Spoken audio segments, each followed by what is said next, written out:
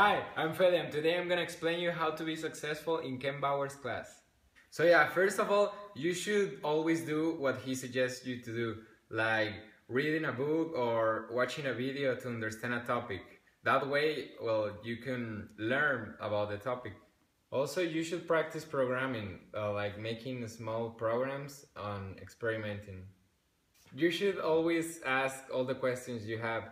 Ken will happily help you to solve uh, all your doubts. You should always do all the work and exercises that Ken suggests you to do. It helps a lot. And finally, if you need help desperately, you can always arrange a meeting with him on kenbauer.book.me. He's available he's available on many different times of the week. And if that in if even that is isn't enough for you, you can uh, well, he stays uh, after school some days uh, in a classroom helping uh, people. L- like if you need help, you can go over there and ask him the questions you have. So yeah, that's all you need to do to be successful on Ken Bauer's class. Bye.